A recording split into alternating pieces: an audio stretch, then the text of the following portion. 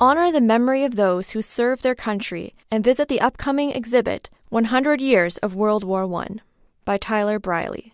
This show marks the 100th anniversary of Armistice. The opening reception will begin Saturday, October 27th, 2018, at 2 p.m., and the show will remain on exhibit from October 27th to November 23rd, 2018, in the Kent Farndale Gallery in the Scugog Memorial Public Library at 231 Water Street in Port Perry. Tyler Briley is a local sculptor and painter, and the only living Canadian artist with works in the War Museum and Parliament Centre Block.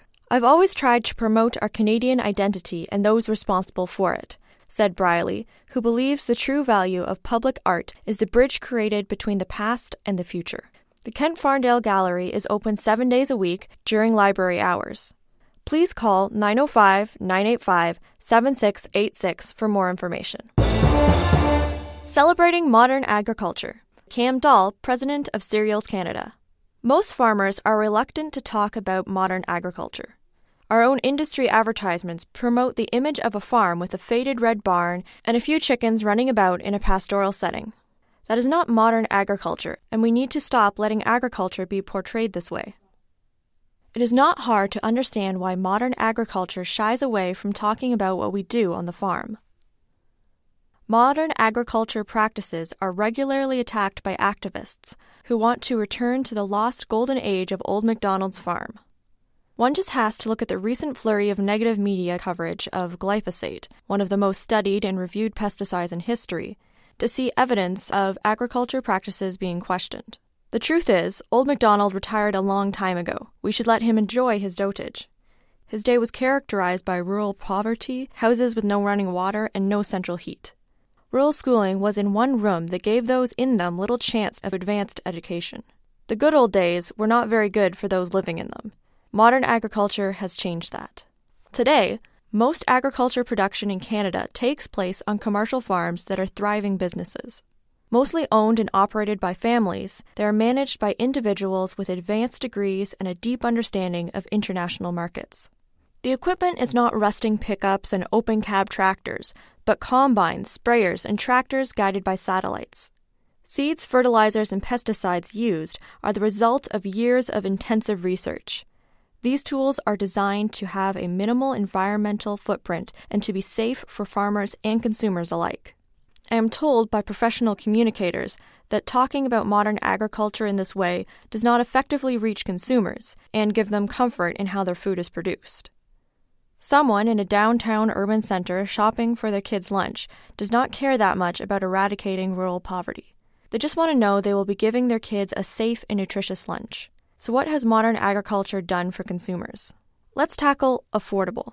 By February 9th of 2018, the average Canadian household earned enough income to pay for their grocery bill for the entire year, spending about 10% of their income on food.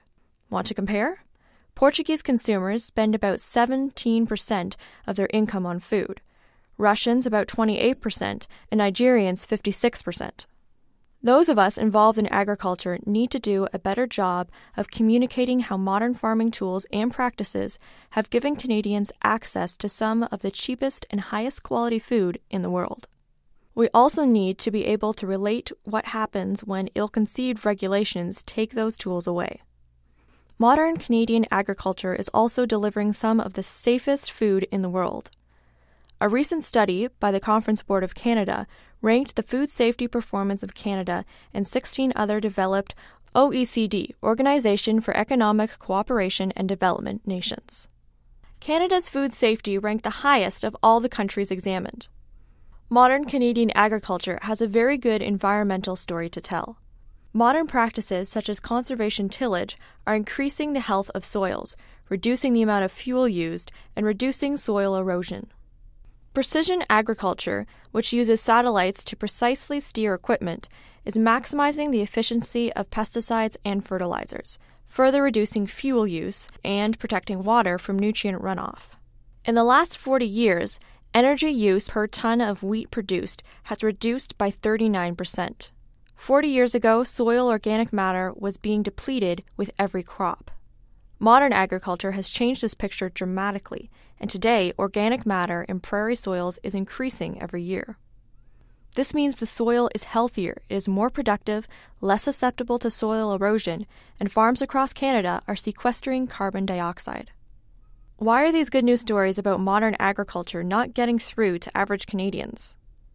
One of the reasons is those who are opposed to modern agriculture are focused on their communication efforts and have spent the time and money to coordinate their work. Agriculture, on the other hand, does not have united communication efforts. We are all focused on our individual companies and organizations, and often communicating with the public is left to side of the desk projects. This needs to change. Agriculture needs to give time, money, and coordination to our outreach. Modern agriculture has a good story to tell, but if we aren't telling it, then we are letting others speak for us, and all consumers will hear are concerns from outside our industry national organization gives almost $100,000 in Lindsay. Kawartha Lakes Food Source, KLFS, was granted $97,000 to fight poverty in the city of Kawartha Lakes. We were one of three organizations nominated in Ontario and are honored to be chosen to represent our province, said Heather Kirby, General Manager. Ms. Kirby added, We demonstrated our ability to find new and creative ways to get food to people. We are in a position to create lasting change in our community. We are tremendously grateful to the Enterprise Holdings Foundation and Food Banks Canada for supporting KLFS in creating new and innovative programs that will allow us to better meet the changing needs of our community, stated KLFS Board Chair Dennis Geelan. This funding will be used for feasibility to determine the needs of our community and how KLFS can best meet those needs a partnership program with local restaurants and caterers to package viable food at the end of service into individual freezer meals for clients, especially beneficial for those with limited cooking facilities, for example, limited to a microwave, and for singles who may have difficulty cooking nutritious meals for one, as well as the opening of two new food banks in the city of Kawartha Lakes. Community consultations have taken place to discuss the pilot of a shopping style food bank in Lindsay at the KLFS Distribution Centre. The plan will also include a food bank in Kinmount to serve the needs of residents in the northern City of Kawartha Lakes communities.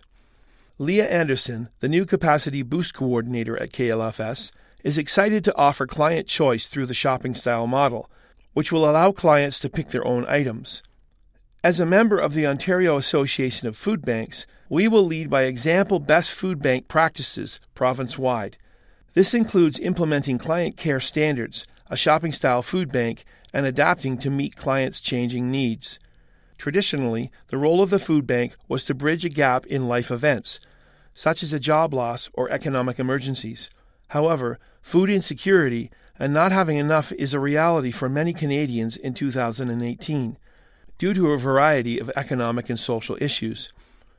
This grant will increase what KLFS can do within our community by increasing food security and access to healthy food. KLFS can work to alleviate poverty in our community by empowering and educating clients to stretch their food when needed. Tech, tech, technical foul. North Durham Sports. Mojacks fall to Chiefs in overtime. Dan Kearns, The Standard. Scugog. The Port Perry Mojacks had a tough week as they lost to the Clarington Eagles and the Lakefield Chiefs. The Mojacks faced the Eagles at the Garnet B. Rickard Complex on Thursday, October 18th. Under three minutes into the first period, Cody Frunner scored to give Port Perry their first lead of the game. However, late in the period, the Eagles struck twice and had a 2 1 lead after the first 20 minutes of play. Clarington scored twice more before two minutes had passed in the second period, stretching their lead to 4 1. Simon Fig scored over 12 and a half minutes into the second frame, cutting the lead to 4 2. But that would be as far as the Mojacks would get, as there were no goals scored in the third period. The Mojacks looked for some redemption on home ice when they faced the Lakefield Chiefs on Sunday, October 21st at Scugog Arena. Both teams battled hard to start the first period, and the Mojacks got on the board first. With less than eight minutes left in the first frame, Spencer Robinson put the puck in the net, giving Port Perry the first lead of the game. However, Lakefield scored two power play goals early in the second period and took their first lead 2 1. But almost two minutes after Lakefield's second goal, the Mojacks tied the game. Frunner backhanded the puck over Chiefs goaltender Andrew Barwinski's shoulder. Then, late in the period, Robinson scored his second goal of the game after connecting on a pass in front of the Lakefield net from Derek Risebrough, and Port Perry led 3 2 after 40 minutes of play. However, Lakefield again tied the game. Just over five and a half minutes into the third period, both teams battled hard in the third, but neither team could retake the lead, so the game headed to overtime. A minute and 19 seconds into overtime, the Chiefs scored the winner, taking the game 4 3. Despite the loss, Mojack's head coach Tom Boyle said he liked the way the team played. I thought it was a typical Port Perry Lakefield kind of hockey game. Both teams worked hard, played hard, finished their hits, battled in the corners, and battled net front, he said. One timers. The Mojacks have just one game on their schedule this weekend a matchup against Clarington at Scugog Arena on Sunday, October 28th at 2:25 p.m. The Standard Podcast was produced by GreenStreams Studio for the Standard newspaper.